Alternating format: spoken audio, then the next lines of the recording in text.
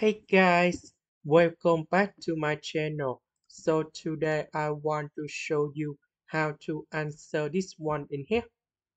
We can use about integration by substitution. So I will put about u equals to this one.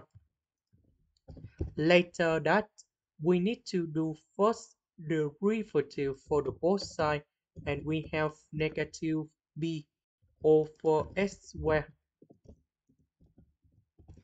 Because we don't have negative b in here, so we need to divide both sides by negative b.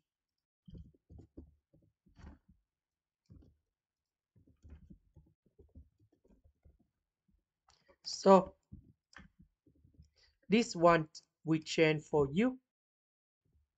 This one with the s we change for this one.